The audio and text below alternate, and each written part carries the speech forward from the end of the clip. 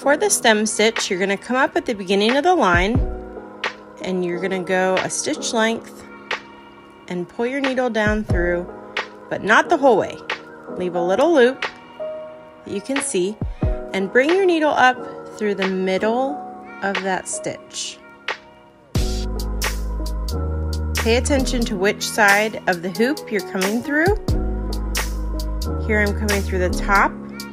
I could do it through the bottom, or if you had this turned, the left or the right. And every time I'm gonna come up through the top of that loop. So make your little loop. And I come up through the middle again and pull it tight. And my string's coming through the top of each stitch.